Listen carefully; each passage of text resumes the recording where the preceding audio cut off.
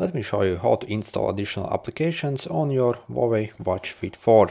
So to do that, we're actually going to use our Huawei Health app. So the same, we actually see your health stats essentially.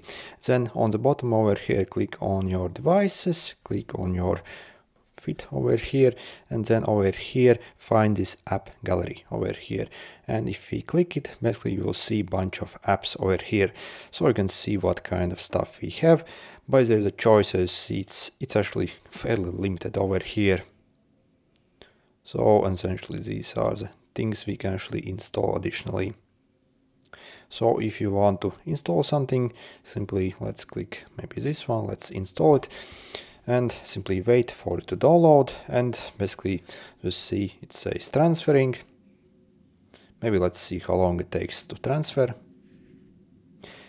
By the way it says it has got Spotify but actually it's only controller over here so it isn't very good.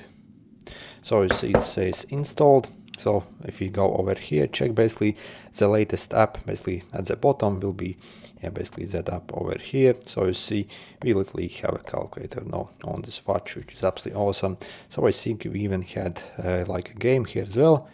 Maybe this one, not sure. Uh, this Surfing Joe also, I think is a game over here. And yeah, I really wish they actually made like more apps for this this watch. Essentially, the choice, in my opinion, is way too limited. Anyway, good luck.